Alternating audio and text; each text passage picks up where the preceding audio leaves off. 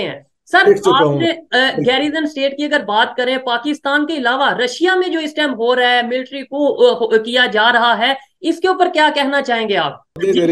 US के बाद PM Modi India के प्राइम मिनिस्टर इजिप्ट का विज़िट कर रहे हैं और बड़ी बात यह है कि वहाँ मॉस्क का मॉस्क का विज़िट करेंगे।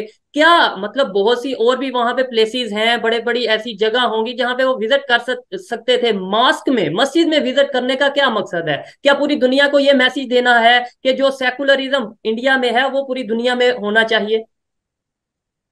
मेरे ख्याल से तो यही मैसेज है। मैं मसलन बेंगलोर में हूँ जो इंडिया का इस वक्त हाई टेक या सिलिकॉन वैली जिस तरह है ना जिसमें आईटी के एक्सपर्ट्स वो इतना बड़ी यहाँ पे मैंने देखा है मीलो मील सत्तर किलोमीटर जितना फैल गया शहर इतनी इंडस्ट्री यहाँ पे हाई टेक लग गई है कि दुनिया में अब तीसरा मुल्क जो आगे बढ़ेगा वो बिल्कुल इंडिया है मुझे समझ आ गई है। इंडिया ने हर किस्म की अपनी डेवलपमेंट कर ली है कि डॉक्टर शेट्टी ने कई पाकिस्तान से जो बच्चे होते हैं ना कॉन्जेनिटल हार्ट प्रॉब्लम यानी पैदाइशी उनके हार्ट तो उनके फ्री बुला के उनके ऑपरेशन किए हैं। और अब भी वो डॉक्टर साहब बता रहे थे कि तीन चार सौ की लिस्ट है जो अभी तक पाकिस्तान से और खास तौर पे प्राइम मिनिस्टर मोदी ने वहाँ पे जो स्पीच की, उन्होंने ये बोला कि हमें जो उनसे एंटी टेररिज्म मिलके टेररिज्म को रोकने के लिए काम करना चाहिए। इंडिया और यूएस मिलके कंबाइन एक प्रोजेक्ट करने जा रहे हैं। इसके ऊपर क्या, ये डायरेक्टली या इनडायरेक्टली पाकिस्तान की बात जी हाँ, इंडिया के प्राइम मिनिस्टर यूएस के विज़िट पे गए पूरी दुनिया की अखबारों ने कवर किया मीडिया हाउसेज ने कवर किया। पाकिस्तान में भी बात हो रही है जी। पाकिस्तान में ये कहा जा रहा है कि वेस्ट के पास टेररिज्म के लिए पैसे हैं लेकिन पाकिस्तान को सपोर्ट करने के लिए पैसे नहीं है। और खास तौर पे प्राइम मिनिस्टर मोदी ने वहाँ पे जो स्पीच की उन्होंने ये बोला कि हमें जो उनसे एंटी टेररिज्म मिलके टेररिज्म को रोकने के लिए काम करना चाहिए। इंडिया और यूएस मिलके कंबाइन एक प्रोजेक्ट करने जा रहे हैं। इसके ऊपर क्या ये डायरेक्टली या इनडायरेक्टली पाकिस्तान की बात की गई है वहाँ पे? मेरे ख्याल से अगर पाकिस्तान का नाम नहीं लिया गया तो वो है कि चोर की दाढ़ी में शतीर वाली बात है कि आपको खुद ही शक हो गया कि हमारे खिलाफ है। अगर पाकिस्तान का वहाँ पे नाम नहीं है तो ये एक जनरल स्टेटमेंट है। नाम नहीं तो लिया पाकिस्तान हाँ तो पाकिस्तान की हुकूमत ने खुद भी कहा है कि हम टेररिज्म के खिलाफ इकदाम कर रहे हैं तो इन्हें क्या, इन्हें अब वरी करने की क्या ज़रूरत है? या तो ये कहें ना कि टेररिज्म हमारी फॉरेन पॉलिसी का हिस्सा है, इसलिए अगर इंडिया और यूएसए ये एक कर रहे हैं डेक्लेरेशन तो ये हमारे खिलाफ है। अगर पाकिस्तान की हुकूमत खुद कहती फिरती है कि हम तो टेररिज्म के बिल्कुल खिलाफ हैं तो फिर क्या वो यही है ना चोर की दाढ़ी में तिनका या शतीर वो वाली बात है ना। फिर तो स्टेटमेंट को सपोर्ट करना चाहिए था कि डेफिनेटली ये जो स्टेटमेंट थी इसके साथ है। बिल्कुल ये है पॉजिटिव तरीका करने का। लेकिन पाकिस्तान का वही मसला है ना कि इनको पता है कि ये सारे जो एफ़ एफ़ वो एफ़ ए टी एफ़ का जो है कानून ये वो पाकिस्तान किस तरह उसको अवॉइड करता रहा है वो जो टेरर फंडिंग के ऊपर हमारी जो वो रिस्ट्रिक्शंस हैं तो इनसाइड स्टोरी तो सब उनको पता है तो इसलिए वो इस किस्म के बयान दे देते हैं। और दुनिया में इनका ही मज़ाक बन जाता है। जी अक्सर ये कहा जाता है जी जो इंडिया है खासतौर पे अगर पीएम मोदी की गवर्नमेंट की बात की जाए वो इस्लामिक स्टेट्स के अगेंस्ट हैं या फिर मुसलमानों के अगेंस्ट हैं लेकिन रियलिटी में जो देखने में आ रहा है यूएई हो सोदिया हो। और इवन अब इजिप्ट में जब वो गए हैं, उनको इस तरीके से वेलकम किया गया है रिलेशन खासतौर पे रिलेशन बेहतर करने के लिए, वहाँ पे इंडियन सॉन्ग्स गाए गए हैं। एक गाना गाया गया, ये दोस्ती हम नहीं छोड़ेंगे। क्या इसका मकसद क्या है? और हमें जो बताया जाता है कि पाकिस्तान में जो चीज़ बताई जाती है कि वहाँ पे मुसलमानों के खिलाफ ये चीज़ें हो रही हैं, वहाँ पे मुसलमानों पे जुल्म किया जा रहा है, या आरएसएस की आइडियोलॉजी के बारे में बताया जाता है, जबकि पूरी दुनिया के इस्लामिक कंट्री रिलेशन बहुत तेज़ी से बेहतर करते नज़र आ रहे हैं इंडिया के साथ।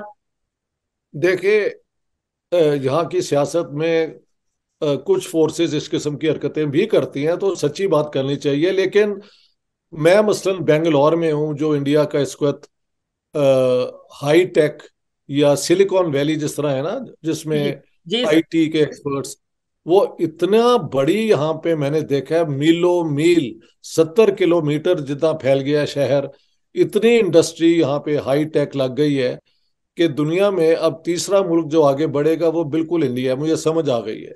इंडिया ने हर किस्म की अपनी डेवलपमेंट कर ली है और मुझे ये पता लगा है कि बेंगलोर में सबसे ज़्यादा अमीर आदमी जिसकी प्रॉपर्टी है वो है इरफान रजाक साहब अच्छा। जो कि एक मुसलमान है और वो मेमन सुन्नी मुसलमान नहीं होते यहाँ से कच्छ वो उनके हैं। फिर यहाँ पे है अजीम प्रेम जी वो बोरी बोरी मुसलमान है। वो इंडिया के सेकंड या थर्ड रिचेस्ट मैन है। मैं हर जगह जा रहा हूँ मुझे मुसलमान ज़िंदगी के हर शोबे में लीडिंग पोजीशंस में नज़र आ रहे हैं। ठीक है। तो कोई ऐसी पॉलिसी नहीं है बल्कि मुझे लोगों ने खुद जब मैंने बात की कि यार मुसलमानों का क्या हाल है उन्होंने कहा सर एक मिनट वेट ये हम कॉल करते हैं इससे पूछे इस लड़के को किसने नौकरी दी है। तो बात मैंने की वो कुछ खान लड़का था।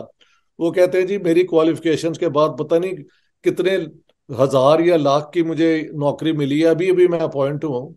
तो मेरे मुझे प्रूफ तो साथ साथ मिल रहा है। ठीक है। यहाँ पे सेकुलरिज्म एक तो हिंदुओं के अंदर एक टॉलरेंस है क्योंकि वो कन्वर्ट नहीं ना करते हमें ये समझ नहीं आती। हिंदू रिलीजन किसी को कन्वर्ट नहीं करता वो कहता है आप अपनी डगर पे कायम रहें और सब अपने अपने तरीके से जो भी पूछना चाहते हैं जिसकी भी आप प्रस्तिश करना चाहते हैं आप वेलकम है। फिर उनकी स्टेट भी सेकुलर है। तो सोसाइटी के अंदर भी सेकुलरिज्म की बुनियाद है और स्टेट तो है ही सेकुलर इंडिया की। उसमें थोड़ा सा एक लॉबी है जो चाहती है उसको भी एक हिंदू स्टेट बनाने का। मैंने जिसको भी मिला इंडियन इंटेलेक्चुअल्स को मैंने कहा खुदा के लिए पाकिस्तान को को कॉपी ना करें अपनी सेकुलरिज्म को मज़बूत करें। तो इसीलिए इजिप्ट हो या सऊदी अरेबिया हो या यूएई हो वो देखते हैं कि जो इंडियन हमारे वहाँ काम करते हैं वो बिल्कुल लॉयली काम करते हैं किसी इस झगड़े में नहीं पड़ते। आपको कभी इंडिया इंडियंस बाहर इंडिया से कोई शरारतों में नहीं नज़र आएँगे लेकिन मुसलमान जहाँ जाएँगे वो कोई पंगा ज़रूर ले लेंगे कभी एक बात पे या किसी और बात पे। अब ये क्या आ, कोई मुसलमानों का करेक्टरिस्टिक है? इस पे सवाल हो सकता है, क्योंकि आज से तीस चालीस साल पहले जब यहाँ पे लोग थे तो कुछ भी नहीं था, आम लोग थे। ये तो जब ईरानी इनकलाब आया और उन्होंने इस्लामिक स्टेट को प्रमोट करना शुरू किया, और उधर से सऊदिया ने अपनी वहाबियत के ऊपर ज़ोर दिया तो तब फंडामेंटलिज्म सारे मुसलमान ममालिक में फैल गई। अब वो बला जो है, वो उसको खत्म करते करते वक्त लगेगा लेकिन पाकिस्तान में तो लगता है कि वो बिल्कुल एक फरार की दुनिया में रह रहे हैं। उन्हें पता ही नहीं कि क्या दुनिया में हो रहा है। और इस किस्म के बेहदा बयान कहीं ऐसा क्या? तो नहीं है कि हमें सोची समझी साजिश के तहत मतलब वैसे तो हम ये कहते हैं कि पूरी दुनिया पाकिस्तान के अगेंस्ट साजिश कर रही है यहूदी पाकिस्तान के अगेंस्ट साजिश कर रहे हैं हिंदू पाकिस्तान के अगेंस्ट साजिश कर रहे हैं लेकिन रियलिटी में कहीं ऐसा तो नहीं कि पाकिस्तान खुद ही अपने अगेंस्ट साजिश कर रहा है जो आम पाकिस्तानी है उन्हें रियलिटी से बहुत दूर रखा जा रहा है उन्हें हकीकत बताई ही नहीं जा रही कि दुनिया कितनी तेज़ी से डेवलपमेंट की तरफ़ कितनी तेज़ी से एक्सेप्टेंस की तरफ़ जा रही है जबकि हम आज भी शिया सुन्नी के फसाद में आज भी हिंदू मुस्लिम के फसाद में पड़े हुए हैं मोस्टली ये अब पता नहीं कॉन्स्पिरेसी है या हमारे हमारी एलीट का एक सोच ही बन गया है कि लोगों को कंट्रोल करने के लिए इनको इसी डगर पे लगाई रखो। ठीक है। हालाँकि अगर आप देखें तो पाकिस्तान के पास यार क्या ऑफ़र करने को है कि दुनिया इनके खिलाफ है? क्या इनके पास तेल है? एटम बम हाँ जी। एटम बम है दुनिया उसके पीछे पड़ी है। हाँ। अच्छा एटम बम है तो उससे दस गुना ज़्यादा हज़ार गुना ज़्यादा एटम बाकी दुनिया के पास है तो ये चला के अपनी तबाही कर लेंगे। ये कोई पटाखा तो नहीं है जो कि वो शेख रशीद अपनी तरफ़ से एक और बात करता है, लेकिन ये बिल्कुल बेवकूफ़ों वाली बातें हैं कि एटम हमने बना लिया तो हम ये कर सकते हैं, वो कर सकते हैं। अगर हमारे पास एक है तो उससे हज़ार गुना ज़्यादा पावरफुल बाकी दुनिया के पास है। तो ये एटम बम के ऊपर इतना फख्र करने का और दुनिया यार पाकिस्तान एटम बम किस पे चलाएगी? ये बताओ। जो दुनिया कहा तो यही जाता है पाकिस्तान अगर वो बनाया गया तो हमारे जो हमसाया जिसे हम हमसाया नहीं हमसाया कम और दुश्मन ज़्यादा कहते हैं उसके हमें तो यही बताया जाता है जी हम बिल्कुल तैयार हैं एक भी को, कोई कदम बढ़ाएगा तो हम बिल्कुल रेडी हैं जबकि अगर हकीकत की बात की जाए तो शायद बहुत सी चीज़ें सामने आ जाएँगी। इनसे पूछो मैंने यहाँ पे हिंदुस्तान में मुझसे लोग पूछते हैं मैंने कहा यार अगर आप कभी लाहौर जाएँ जी। तो लाहौर की सबसे ज़्यादा डेवलप्ड जो इलाका है वो है डिफेंस हाउसिंग सोसाइटी डेफिनेटली उसको अगर देखें लाहौर वन टू थ्री अब वो अलेवन और ट्वेल्व है वो तो इंडिया के बॉर्डर के करीब से करीब आता जा रहा है। तो जिन्हें जिनको यकीन हो कि हमारी जंग होनी है वो अपनी बेस्ट इन्वेस्टमेंट और लोकेलिटीज और अपने लोग दुश्मन के करीब लाते हैं या दूर ले जाते हैं? बिल्कुल। ये तो एक ये बिल्कुल एक बेबुनियाद बेहुदा और ये पता नहीं अनपढ़ लोग हैं जो आर्मी को आजकल रूल कर रहे हैं वरना पुराने जो जनरल थे पढ़े लिखे आदमी होते थे उनसे बैठ के एक शाम को आप फलसफे पे म्यूज़िक पे बात कर सकते थे। ये जो लोग अब आ गए हैं मुझे लगता है इनका लेवल इंटेलेक्चुअल इनका दुनिया के मतलब इंफॉर्मेशन बस वो कुएँ के मेंढक जितनी है इन्हें कुछ पता नहीं दुनिया कैसे चल रही है। ये मसला है। सर लोग ये भी कुछ बड़े बड़े मतलब अगर हम बात करें बड़ी बड़ी शख्सियात की वो प्रिडिक्शन करते नज़र आ रहे हैं कि शायद इंडिया आने वाले टाइम की नंबर वन इकोनॉमी बन सकती है। आप तो वहाँ पे मौजूद हैं प्रैक्टिकली चीज़ों को देख रहे हैं वहाँ के बिज़नेस सेटअप्स को देख रहे हैं वहाँ के लोगों की मेंटेलिटी देख रहे हैं इस टाइम इंडिया में मौजूद। क्या कहना चाहेंगे? इस हवाले से इंडियंस क्या सोच रहे हैं? और आप एज ए विजिटर क्या देख रहे हैं? बात सुनो यार, आज मैं गया था एक डॉक्टर साहब को मिलने, जो जिनका रिकॉर्ड है दुनिया में शायद लीडिंग उन्होंने हार्ट ऑपरेशन किए हैं। डॉक्टर साहब का नाम है डॉक्टर डेवी शेट्टी, और मेरे जो दोस्त हैं, जो यहाँ मेरे होस्ट हैं मिस्टर सौराब चंद्र सिंह और बाल चंद्रा जी और प्रोफेसर चैटर्जी ये तीनों मुझे उनके पास लेके गए। तो पता लगा कि डॉक्टर शेट्टी ने कई पाकिस्तान से जो बच्चे होते हैं ना कॉन्जेनिटल हार्ट प्रॉब्लम यानी पैदाइशी उनके हार्ट तो उनके फ्री बुला के उनके ऑपरेशन किए हैं। और अब भी वो डॉक्टर साहब बता रहे थे कि तीन चार सौ की लिस्ट है जो अभी तक पाकिस्तान से नहीं आई लेकिन एक बात है कि पाकिस्तान भी लोगों को जाने देता है। ऐसे ऑपरेशन कराने के लिए और वो फ्री करते हैं ऑपरेशन ये याद रखना। हाँ। पाकिस्तानियों के खासतौर पे फ्री करते हैं या ओवरऑल वैसे ही फ्री करते हैं? नहीं वो देख लेते हैं जिनके पास नई इनकम उनके फ्री होते हैं। ठीक है। लेकिन मतलब गरीब पाकिस्तानियों के जिनके पास नहीं है पैसे उनके बिल्कुल फ्री होते हैं। ठीक है। तो उनका तो ये, ये कैसा दुश्मन है जो हमें एजुकेशन भी अगर ऑनलाइन एजुकेशन की बात करें मैं आप शायद मेरी वीडियोस देखते हैं मैं रोड पे पब्लिक ओपिनियन लेता हूँ स्टूडेंट से बात करता हूँ। मोस्टली स्टूडेंट खासतौर पर फिजिक्स के स्टूडेंट खासतौर पर मेडिकल के स्टूडेंट ये कहते नज़र आते हैं कि हम ऑनलाइन एजुकेशन इंडियन टीचर से देते हैं या इंडिया के जो चैनल्स हैं वहाँ से हम स्टडी करते हैं। आपने बताया हाँ। इंडियन जो से हैं वो मेडिकल के हवाले से हमारी कितनी हेल्प कर रहे हैं हमारे बच्चों के ट्रीटमेंट कर रहे हैं। तो ये कैसा दुश्मन है? एजुकेशन भी हमें दे रहा है हमारा ट्रीटमेंट भी कर रहा है। इसके अलावा मेडिसिन भी मेरी खबर के मुताबिक आप भी शायद जानते होंगे कि दुबई के थ्रू पाकिस्तान में इंडिया की मेडिसिन आ रही है। तो ये दुश्मन तो अच्छा, हमें फ़ायदा बहुत दे रहा है। एक और बात सुने मुझे यहाँ पे मिले बड़े बड़े यू नो इनके बिलियंस में है जो मुझे आके मिलके मेरी तकरीरें सुन रहे हैं। ये बिल्कुल वो मुझे हाँ। वो कहते हैं कि सर हमारे पास इतने जॉब हैं और हमें आउटसोर्सिंग करनी पड़ती है। हम चाहते हैं कि हम पाकिस्तान की मदद करें उनको आउटसोर्स किया जाए। लेकिन हम तो कर नहीं सकते जब तक आपकी हुकूमत इसकी इजाज़त ना दे। तो पाकिस्तान के नौजवानों को नौकरियाँ मिलेंगी हज़ारों लाखों में। यहाँ के लोग देने को तैयार हैं। वो कहते हैं ये हमें आउटसोर्सिंग करनी पड़ती है तो हम अपने हमसाय मुल्क के साथ के साथ क्यों ना करें? देखें यहाँ मुसलमान आपको हर जगह मिल जाएँगे तो उनको मुसलमानों यानी देखे हुए, उनसे उठना, बैठना, स्कूल में जाना, मोहल्ले में दोस्तियाँ कोई बड़ी बात नहीं है। हमने कभी किसी हिंदू के साथ मुलाकात नहीं की, कभी देखा नहीं कि वो कैसे लोग हैं। मैंने तो इनको ज़्यादातर बहुत भले मानस और इलम जिसके पास है, ये उसको मानते हैं। तो मेरा इतना इंडिया में जो रिसेप्शन, मैं तो एक जगह आया था तकरीर करने, सात मई की और मैं अब कुछ लोग कह रहे हैं कि इंडिया जितना आपने फिर लिया है शायद हमने सब सारा इंडिया इतना नहीं देखा।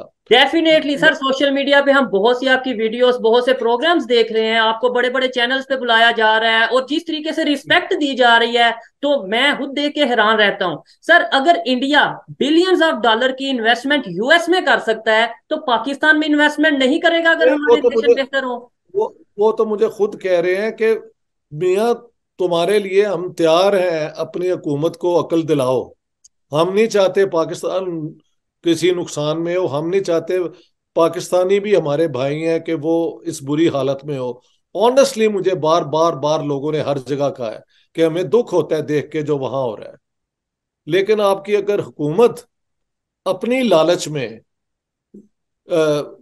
पाकिस्तानियों को इस मौके से दूर रख रही है तो ये कंस्पिरेसी इंडिया की हमारे खिलाफ नहीं है हमारी अपनी रूलिंग क्लास की हमारे लोगों के खिलाफ है। Exactly, मैं ऐसे ही है। ये कहना चाहता हूँ। हाँ बिल्कुल देखें अगर फ्रांस की बात करें आप तो खबर पे बड़ी नज़र रखते होंगे हमने फ्रांस के खिलाफ जो उनसे पूरा लाहौर जला दिया प्रोटेस्ट किया तुहीन रसालत को लेके। इसके अलावा और बहुत से ऐसे कंट्रीज़ हैं जिनके खिलाफ हम प्रोटेस्ट भी करते हैं। इसराइल की बात करें अगर हम वहाँ पे जाते हैं वहाँ पे अपने कंटेनर भेज सकते हैं यानी जिससे हम अभी कंट्री मानने के लिए रेडी नहीं। हम उनके साथ रिलेशन बेहतर करने का सोच सकते हैं बात कर सकते हैं तो इंडिया से हम क्यों नहीं बात करते? मतलब यह है कि ट्रेड भी इसलिए इसलिए इसलिए कि मोहम्मद अली जिना ने इसी नफरत की बुनियाद पे हिंदुस्तान की तकसीम कराई थी।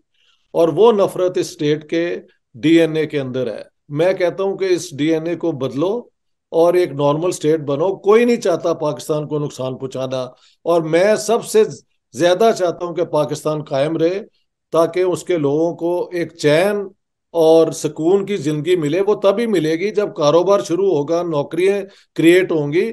आसमान से तो मनो सलवा नहीं ना उतरता वो तो पुरानी बातें हैं। इसके लिए आपको पॉलिसीज़ बनानी पड़ती हैं। और आपका बेस्ट फ्रेंड अगर बन सकता है तो इंडिया बन सकता है।